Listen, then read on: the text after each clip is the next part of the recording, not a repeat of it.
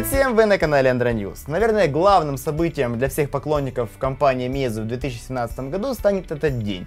День, когда производитель показал свои новые флагманы, многими долгожданные.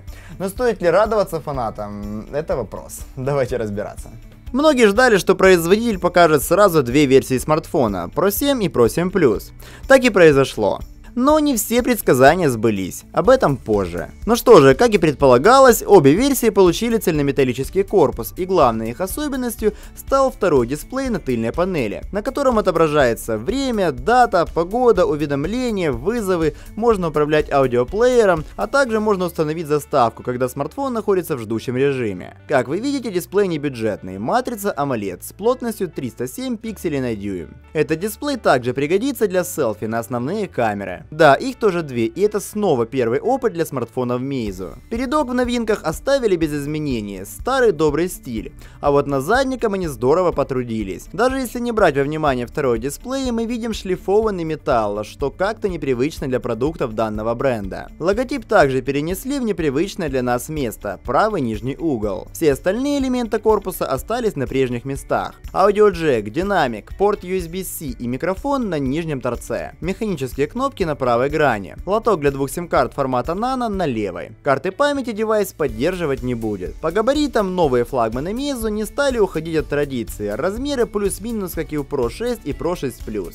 Диагонали те же 5,2 и 5,7 дюймов с матрицей AMOLED и разрешением Full HD и Quad HD соответственно. Сканер отпечатков по-прежнему остался на лицевой панели в кнопке M-Touch. Выпускаться новинки будут в следующих расцветках. Черный, красный, золотой и металлик. В зависимости от модификации модификации. Все варианты у вас перед глазами. Подводя итоги относительно внешнего вида флагманов, Мизу можно похвалить за то, что они пошли на риск и ушли от своего стандартного дизайна и показали миру что-то новое. Но вопрос тут заключается в том, как публика оценит этот жест. Пишите свое мнение в комментариях, нравится ли вам дизайн новых флагманов компании, или вы бы предпочли привычный дизайн смартфонов Meizu. Главным противоречием среди пользователей в сети, как всегда, стала техническая составляющая продуктов. Кто-то говорит, что ему наплевать плевать на мощность процессора, главное удобство использования. А кто-то ругает Meizu за сотрудничество с умирающим чипмейкером Mediatek. Сразу скажу, что чудо в Pro 7 и Pro 7 Plus мы не увидим. Новинки все же получили процессоры от Mediatek. Но, как и сообщали ранее инсайдеры, вариантов будет много. Давайте по порядку. Pro 7 производитель будет предлагать в следующих вариациях. Ну и Pro 7 Plus. Все варианты у вас перед глазами.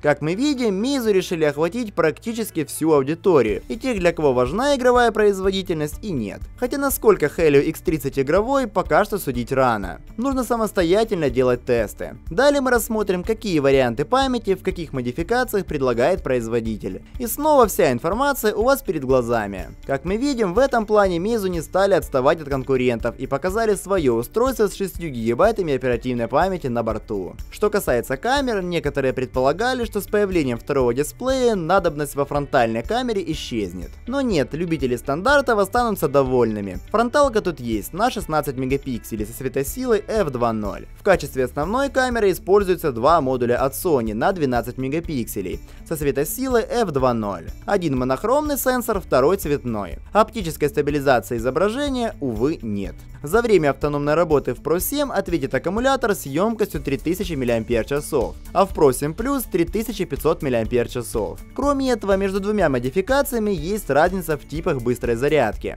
Pro 7 Plus получил фирменную зарядку M-Charge 4.0. По заявлениям производителя, аккумулятор за полчаса можно будет зарядить на 67%. Из дополнительных фишек могу отметить наличие выделенного аудиочипа во всех версиях смартфона. Теперь я отвечу на главный вопрос. Сколько за каждую из версий просит компания Meizu? Смотрите и наслаждайтесь, в кавычках, конечно же. То есть правильно ли я понял, что за Helio P25 я должен буду отдать 460 долларов, если буду покупать смартфон через ритейлера? Факт, да за эти же деньги можно приобрести OnePlus 5. Я не хочу это комментировать. За то, что Meizu сделали что-то действительно новое, им респект. Но за цену огромнейший минус. Камеры здесь не топовые, железо здесь не топовое. По сути, мы должны отворить бешеную сумму денег за инновацию в виде второго дисплея на тыльной панели.